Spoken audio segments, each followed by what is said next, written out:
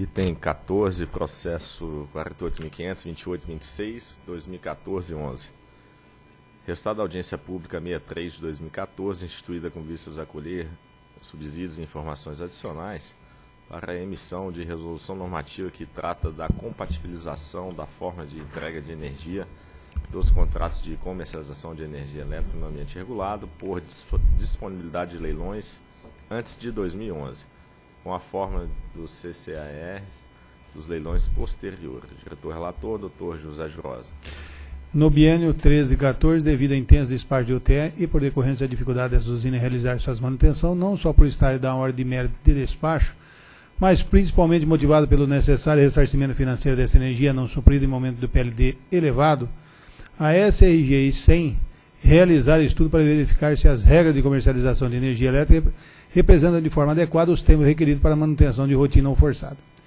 Em maio de 14, as duas superintendências consultaram a Procuradoria Federal junto ao ANEL quanto à possibilidade jurídica de retroação de efeitos e alteração de norma que trata a obrigação de entrega de energia para os contratos por disponibilidade originados de leilão anterior a 2011. Em setembro de 14, a PGE emitiu parecer 420 com sua opinião sobre o tema.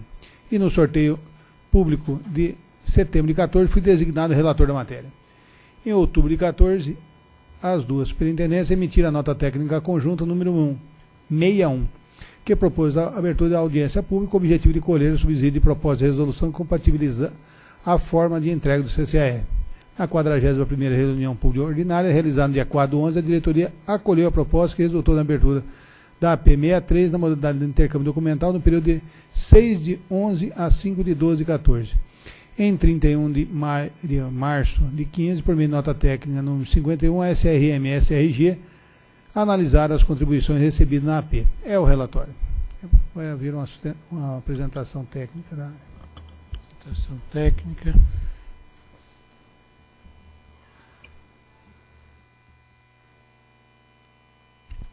É, boa tarde a todos. É, a apresentação que eu vou fazer aqui engloba a audiência pública 063 de 2014 e também a audiência pública 001 de 2015, que é o próximo item da pauta sobre a relatoria do Dr. Tiago, porque essas duas audiências acabam tendo, elas se encontram em algum momento lá, tem uma, um ponto em comum, e aí a proposta nossa é que seja feito um único regulamento para contemplar tanto o resultado da audiência pública 63 quanto o resultado da audiência pública 001. Eu já vou fazer a, a apresentação dos dois, das duas audiências. Aqui eu vou passar duas figuras só para esclarecer qual que é o problema que nós identificamos e, e tratamos da audiência pública. Eu pus aqui um exemplo de uma usina termoelétrica com uma potência e que ela gera entre os instantes T0 e T1. Ela fica parada por a manutenção entre os instantes T1 e T2 e volta a gerar no instante T3. Quando se calcula a garantia física dessa usina e, consequentemente, a capacidade de comercialização, o lastro que ela comercializa, é, não se usa, se, se se considera que ela vai gerar ao longo de todo o período a sua disponibilidade máxima. Por que isso? Como você não sabe em que períodos ela vai fazer essa manutenção, você faz uma simplificação de considerar esse período de manutenção médio e desconta da potência para chegar na disponibilidade máxima do, do, desse empreendimento.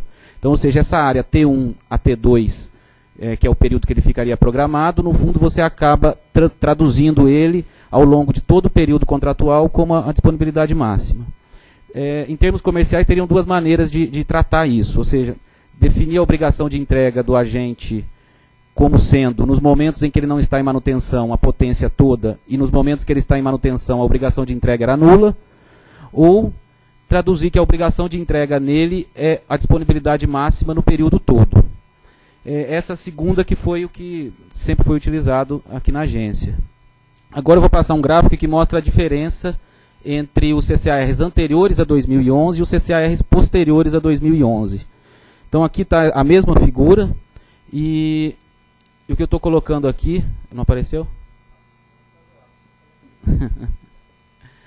o que posso continuar, né? O, o, que, o, que, o que aconteceu, o que acontece aqui é que anterior a 2011 já, já se nota que anterior a 2011 existe uma discrepância, porque quando o agente é obrigado a gerar, ele tem que gerar a potência toda.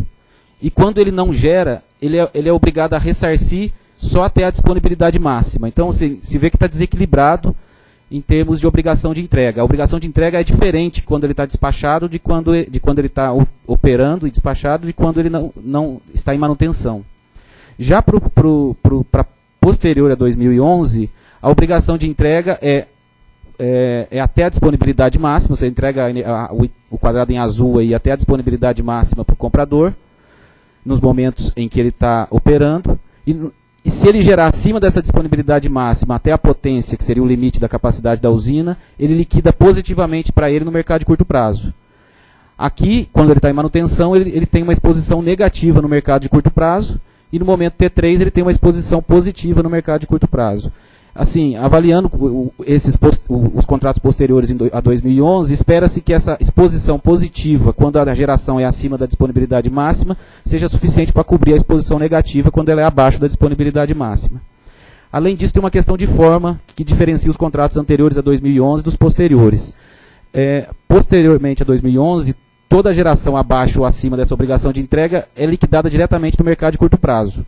Enquanto antes de 2011, o comprador, as distribuidoras vão no mercado de curto prazo e posteriormente é feito um acerto, que é uma dedução da receita de venda dos meses posteriores, para recuperar esse efeito que ela teve de ir no mercado de curto prazo quando a gente não estava gerando.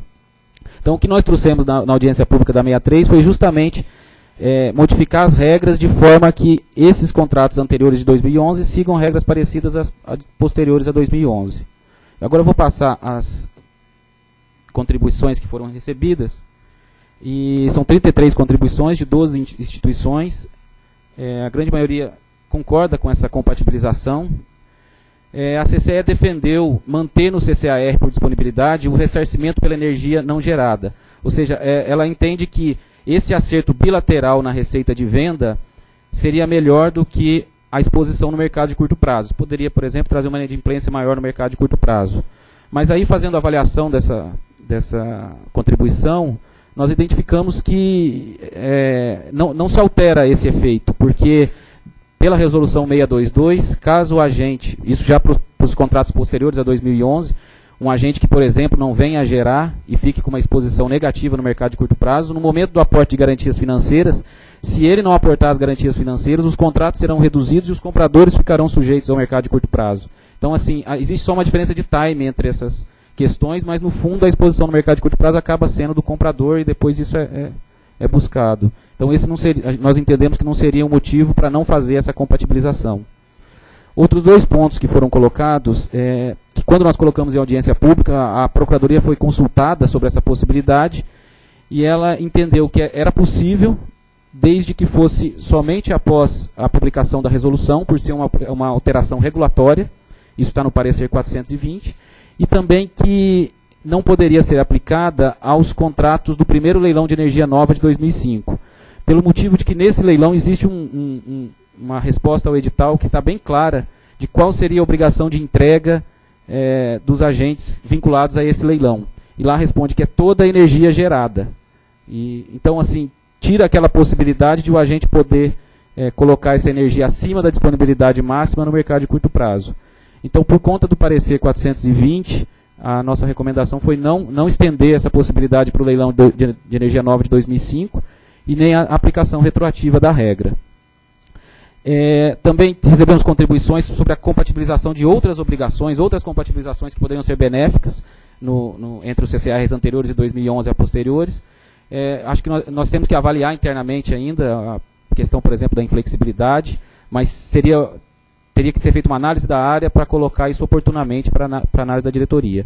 E o outro problema, que é o que vincula-se ao AP01, é o caso de uma usina, por exemplo, eu trouxe um exemplo aqui, que tem um CVU de 500 reais, o PLD máximo eu coloquei aqui 400, em torno do que é hoje, praticamente, e essa usina, então, ela receberia, ela receberia na, pela energia programada no começo do, do mês, no começo do despacho, pela, pela energia programada. Então, vamos supor que ela uma usina de 100 megawatts, ela vai receber 500 reais, ela receberia 500 reais por megawatt-hora pela energia programada de gerar, porque o CVU dela é 500, e o efeito que ela teria no mercado de curto prazo ficaria limitado em 400, porque esse é o PLD máximo. Então, ou seja, ela teria um resultado positivo de 100 reais por megawatt-hora, mesmo sem gerar nada. Isso era um problema que já existia nos contratos depois de 2011, mas que não teve efeito porque os contratos depois de 2011 existia a limitação do Ministério de Minas e Energia quanto ao, quanto ao CVU máximo. Então não, não, existe, não existem usinas com CVU acima de 400 reais para aqueles leilões, para os leilões depois de 2011. Mas na medida que nós compatibilizássemos os leilões anteriores a 2011 a depois de 2011, essa, esse problema poderia ocorrer. E aí nós colocamos uma necessidade de um ajuste financeiro para posteriormente capturar na receita de venda esse efeito de 100 reais por megawatt-hora que o agente poderia se beneficiar sem ter gerado nada. E, e, e exatamente o, o, problema dessa, desse descolamento entre o CVU e PL, do, do, CMO e PLD com uma usina de é, encaixada, por exemplo, um CMO de 600, essa usina tem é, 500 reais, que é o problema da audiência pública 001 de 2015. Aí passando então para a audiência pública 001 de 2015, é, vou colocar aqui também um, um exemplo simples do, do que, que acontece. Nós temos aqui quatro usinas, um PLD de 400 reais, um CMO de 600. Então, ou seja, até a usina T3 é, estão despachadas por ordem de mérito. E até a usina, até a T2, essas usinas estão despachadas por ordem de mérito e abaixo do PLD máximo.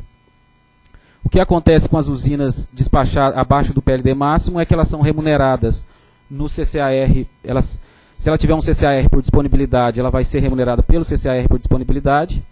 Se ela for uma usina merchan, sem contrato, ela vai ser ressarcida no mercado de curto prazo, vai ser liquidada a PLD.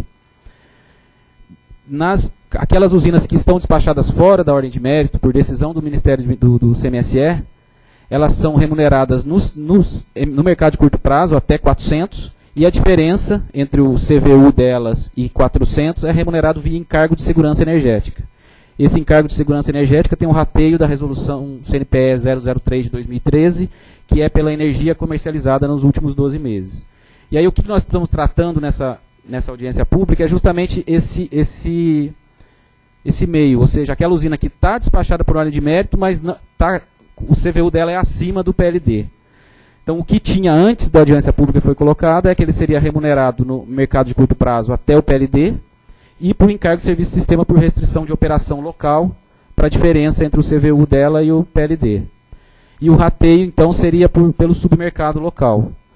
Aí o que nós colocamos de audiência pública, na 001, é, foi a remuneração seria é, no, no CCAR por disponibilidade, bilateralmente, até o valor dos, pelo CVU, ou no mercado de curto prazo, para aquelas usinas que não têm contrato. E ainda é, colocar um, um, custo devido ao, des, ao, descolamento, ou seja, um custo da diferença entre o PLD máximo e o CVU da usina, que aí seria rateado por todos os agentes de consumo na proporção do consumo líquido.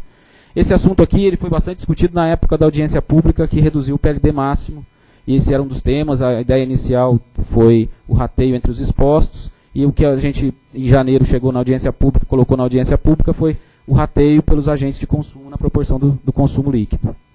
Agora vou passar as contribuições que foram recebidas, são 44 contribuições de 20 instituições. É, alguns agentes se posicionaram de forma contrária à alocação desse custo, no caso do CCAR por disponibilidade para os compradores do CCAR, e os argumentos trazidos foram, não traz tratamento equânime, pois todos são fisicamente atendidos por essa energia. É, o que ele quer dizer é, não, não caberia aos compradores desse CCAR suportar esse custo, porque esse, essa geração está atendendo a todo o sistema mas a, a, o que nós colocamos é que eh, o fato é que esses compradores têm esses contratos com esse custo, de certa forma, elevado, por estar acima do PLD máximo, como eles também têm contratos com valores inferiores e cujos benefícios não são rateados entre os, os outros que também utilizam essa energia.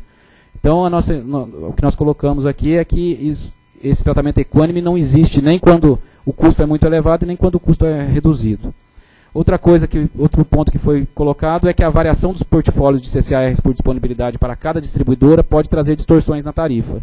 É, isso é verdade. Na medida em que você poderia é, é, alguns compradores com muitos CCARs por disponibilidade com valores elevados poderiam ter um efeito na sua tarifa considerável, a depender da quantidade de contratação que eles tinham. Só que com a criação da, da sistemática das bandeiras, isso acaba sendo rateado posteriormente e, a, e esse efeito é anulado ou reduzido bastante. Outra contribuição foi uma criação de uma nomenclatura para esse custo. A gente tinha colocado anteriormente como um encargo, mas isso é, assim, de fato não, não, não, não, não nos parecia um encargo, porque essa usina está tá despachada por ordem de mérito, ou seja, o próprio modelo computacional está indicando que há necessidade dessa usina ser despachada. Então, a criação da nova nomenclatura nós aceitamos para chamar de custos devido ao descolamento entre CMO e PLD. E também um aprimoramento é que esse, esse assunto já foi feito desde janeiro de 2013. Nós demos uma eficácia para a resolução a partir de janeiro, mesmo estando na audiência pública, e colocando que posteriormente isso poderia ser revisitado e as recontabilizações seriam refeitas.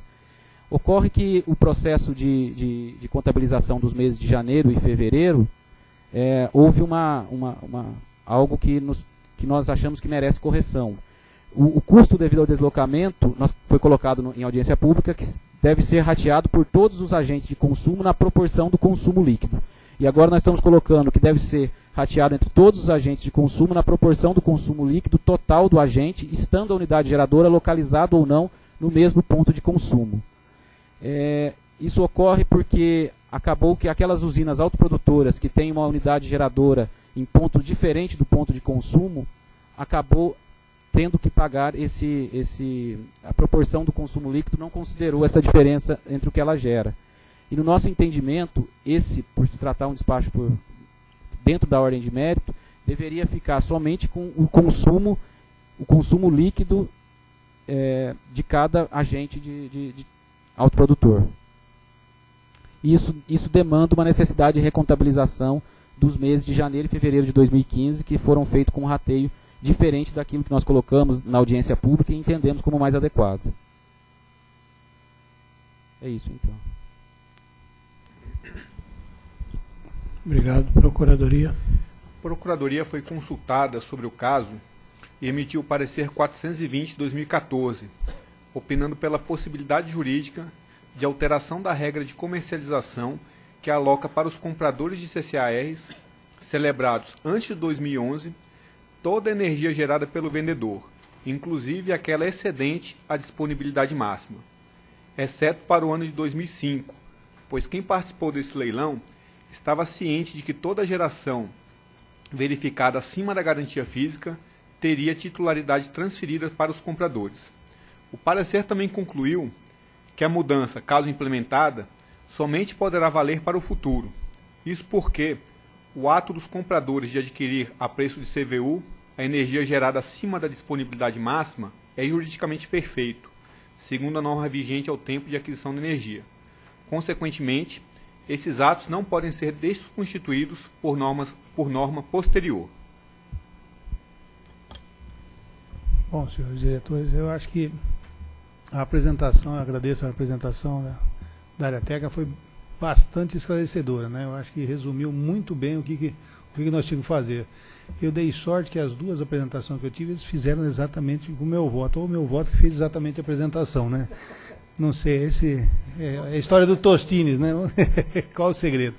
Mas eu, eu entendo que não, eu, fazer a leitura eu vou repetir exatamente tudo que, que foi dito. Então eu, eu prefiro é, economizar ouvidos dos senhores, que já devem estar um pouco cansados, para passar direto àquele ponto que, na verdade, o item 28, então vai ser uma resolução conjunta, né? Que irá abordar os assuntos tratados nas duas AP, né? Nessa 63, que é a minha, e a, e a 01, que o, que o doutor Tiago é o relator. E, e encontra em anexo a esse voto, tá? E limita a estabelecer a modificação da regra de comercialização. Então, em face exposto considerando o que consta do processo, nos dois processos, não, 28, 26, 14 e o 6559, 14, voto pela aprovação da minuta de resolução anexa que estabelece a obrigação de entrega de energia do CCAE por disponibilidade proveniente dos leilões de energia nova e o critério de alocação de custo decorrendo da operação da usina terminal despachado por ordem de mérito de custo, que tem um custo variável unitário acima do PLD. É o voto. Em discussão. Eu queria fazer um comentário. É que se, eu, se a gente tivesse uma máquina do tempo, eu acho que teria sido mais fácil se desde o começo a gente tivesse considerado a obrigação de entregar a potência, quer dizer, além da disponibilidade máxima, mas que naquele período em que ele sai para manutenção ele tivesse um banco de horas. Né? A partir dali ele não tem que entregar, ele gastou todo o banco de horas, que é exatamente a hora considerada no TIF-MP, aí ele voltava a ter a obrigação de contratar no MCP a, a a, a potência e não a disponibilidade. mas é, é o tipo da, da, da, da, do conhecimento que você vai adquirindo conforme o mercado amadurece. Não se esperava que gerasse tanto, que tivesse esses períodos é, como o ano de 2013 e 2014, em que ele gerou, e mesmo aqueles que tiveram a chance de vender a disponibilidade além da disponibilidade máxima, o fizeram por um preço, depois na hora de pagar tem outro preço, então você não consegue equilibrar. E no, dando o banco de horas, de certa maneira, não teria esses problemas. Mas como a construção da agência caminhou numa construção que é essa da entrega da disponibilidade e ter uma, uma receita adicional, e eu acho que os contratos a partir de 2011 foram se foram cristalizando esse entendimento. Então, acho que por uma questão de segurança jurídica, a área técnica ela adotou, acho que a solução que seria menos traumática e que atende a, ao objetivo, ainda que eu achasse que da outra forma seria bem mais simples de apresentar, mas no mérito, pelo menos, isso alcança o objetivo desejado. E, e propicia essa segurança jurídica que você É falou. importante, esse é um, um É. fundamento que eu acho que É fundamental. tem, tem que estar sempre presente nas decisões. Não pode toda hora mudar, né? Uhum. Aliás, nesse segmento a gente tem que sempre conter a vontade de acertar ali na com uma precisão muito grande, porque realmente é o que você falou, a, a dinâmica vai eh, nos propiciando a conhecer melhor, a ter ideias mais precisas, digamos assim, a gente tem que, de alguma maneira, eh, segurar um pouco essa vontade de, da perfeição para garantir uma, um mínimo de, de estabilidade da regra. Mas, claro, tem coisas que você tem que evoluir. É o caso que estamos aqui discutindo. Ok? Então, em votação. Eu voto com o relator.